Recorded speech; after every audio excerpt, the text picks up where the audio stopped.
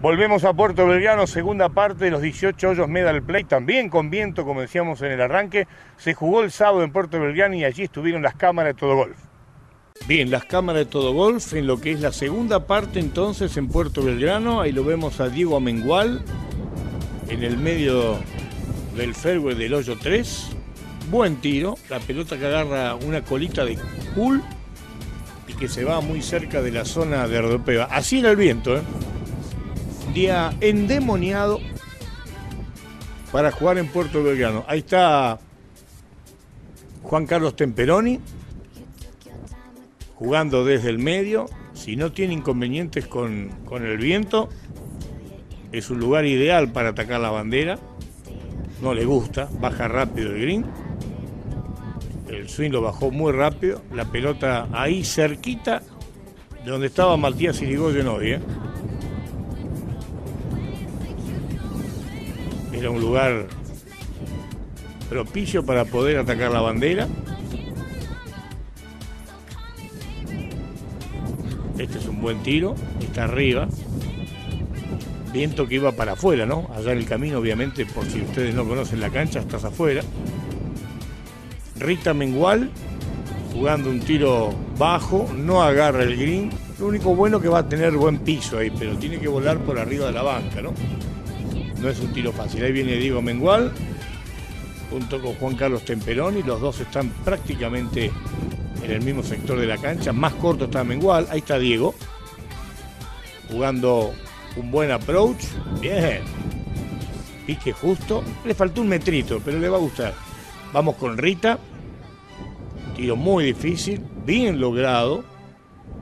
Esquivó la banca y está arriba y va a tener su chance. Ya había jugado eh, Juan Carlos Temperoni se había ido a la banca. Ahí la saca mordida la pelota. Le quedó arriba. Vamos a ver en línea de bandera. Un tiro muy difícil porque está un poco barranca abajo. Ahí viene la bola. Bueno, había corrido un poquito más. Vamos con Temperoni desde arriba, después de la sacada de banca. Ahí está Juan Carlos. La pelota que va a venir con caída seguramente para la izquierda. Ahí va el tiro. Qué buena que es. ¡Pumba! Bueno. Me parece que tenemos un candidato para la extinción de Tierce. Bombazo de Juan Carlos Temperoni en el hoyo 3 de Puerto Belgrano. Y cuando faltan dos semanas para cerrar la distinción de Tiers, vamos a tener que esperar hasta la semana que viene, pero es gran candidato. No me acuerdo cuánto de lejos estaba el de Carlos Jara, que está ganando. Después cuando venga el bloque de Tiers, vamos a ver. Pero me parece, me parece que Juan Carlos Temperoni la semana que viene va a quedar, cuando falte una semana, punteando. Vamos a esperar, no nos apuremos, pero hacía rato que no veíamos una bomba así. Ahí está Rita Mengual, después del approach al lado de la banca. Ahí va el toquecito de Rita. Bien tocado, corto en la línea, Rita. Qué lástima, ¿eh? Rita se toma todo su tiempo, no quiere sorpresas. No puede errar, de 100 no puede errar ni 99 ahí. Final para Rita entonces, nos quedamos enganchados con el pater de Juan Carlos Temperoni. La ansiedad de saber la semana que viene si va a estar liderando cuando falten dos semanas solamente para tener el nuevo ganador de la distinción de Tiers. Segunda parte de lo que pasaba en Puerto Belgrano con viento este sábado. La última parte de la clasificatoria de la Copa Baracaldo, el último sábado en Paligüe. Recordemos que hubo definiciones de match el domingo y las finales y los campeones que resultaron el lunes. Imágenes que vamos a estar viendo la semana que viene, justamente antes de empezar nuestro programa. Última parte de lo que pasaba la Baracaldo el sábado en Paligüe. Bien, nos metemos en la última parte entonces de la clasificación de la Baracaldo el último sábado y en Paligüe. El domingo se jugaron los primeros matches. El lunes se jugaron las finales, imágenes de las finales. Se van a ver el programa de la semana que viene porque se estaba jugando en el momento que se estaba ya armando este todo golf para que salga a partir de la semana. Bueno, vamos con Javier Caras, pegando en el medio, ahí la pelotita que empieza a agarrar una puntita de pool. Hasta allí llega la bola de Javier Caras jugando con Juan Fernández, que no clasificaron. Ahí está Sebastián Tucat. Ese árbol de acá creo que no le va a molestar de ninguna manera. Bueno, jugando por abajo menos.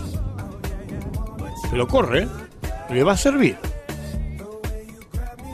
Y no para, lo cual pasa a ser cada vez mejor. Ahí está el tiro de Tucat. Con ellos, el ex futbolista profesional, el Gula Aguirre. Esta pareja terminó clasificando para los matches del domingo. Ahí está el Gula. Jugador que arrancó en Pago Chico hace medio año más o menos. Quizás un poco más. Y ya se vino para Paligüe. Y de a poquito le va agarrando la mano, ¿no? Ya empieza a clasificar. Ya ganó un torneo. Y no tiene mal sueño. Ahí está el Gul Aguirre. La pelota que queda sobre la derecha después de la cortada. Ahí va a tener para jugar un approach. Ahí hay poco piso, es un lugar complicado. Vamos a ver cómo lo resuelve.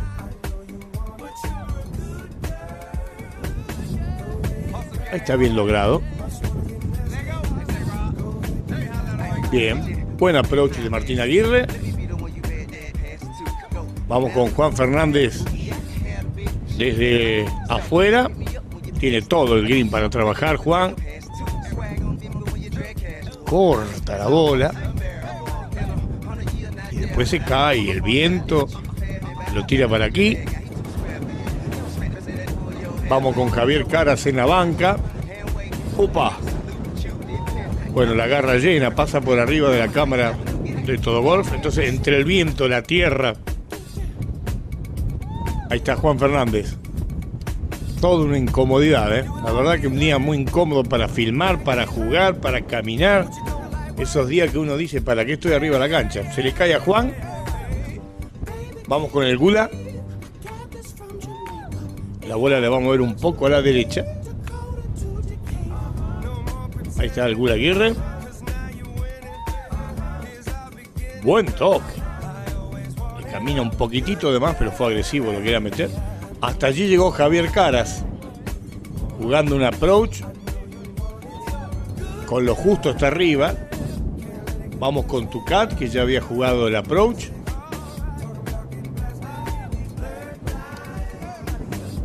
Ahí está Tucat. No agarró la línea, ¿eh? Nunca agarró la línea. Vamos con caras desde el borde. La juega por arriba, que es donde había que jugarlo. Ahí está Javier Caras. ¿Va a volver a jugar él? Sí, pide, pide para terminar él. Todavía sirve este. Un pate que si entra sirve. Bien. Final para Javier entonces. Miren cómo corrió la de Tucat, ¿eh? Parecía que no había corrido tanto, pero sí, sí corrió. ¿eh? Ahí está Tucat jugando de arriba, la bola va a mover a la izquierda. Reiteramos, Tucat y Aguirre estuvieron en la definición de los matches del domingo. No pasaron a las finales del lunes. Cuartos y semifinales se jugaron el domingo y la finalísima el lunes. Tres días a puro baracaldo. Final para Tucat. Ahí están sacando la cuenta. La de Aguirre ya no sirve. Ahí levantó el Gula. Ya sirve la de Tucat. Así que la de Aguirre debe servir. Eh, perdón, la de Aguirre no servía. La que sí debe servir la de Fernández, que ya metió Javier Caras.